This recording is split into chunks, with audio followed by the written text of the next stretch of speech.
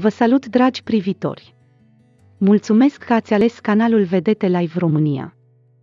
Cântărețul Nosfe a plecat dintre noi fulgerător, noaptea trecută, așa cum a anunțat trupa Shatra Benz în urmă cu puțin timp, Ruby, una dintre artistele cu care Nosfe a colaborat e în stare de șoc, iar cântăreața abia și-a găsit cuvintele atunci când reporterii Spinus Ro au contactat-o, vedeta a mărturisit că tocmai ce a aflat că prietenul ei, colegul de breaslă, nu mai e printre noi, cântăreața a precizat că ar fi trebuit să se vadă cu Nosfe peste doar câteva zile. Atunci când urma să aibă alături de el filmări pentru un nou videoclip.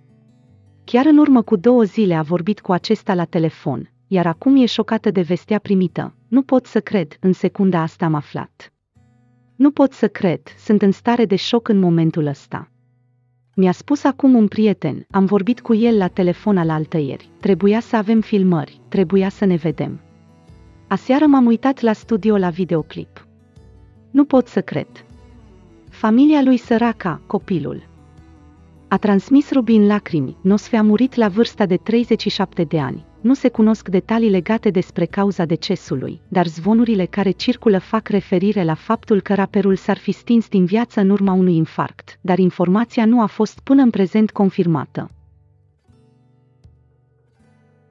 Vă mulțumesc că ați privit până la final și vă rog să vă abonați la canal pentru a vedea mai multe știri de acest gen.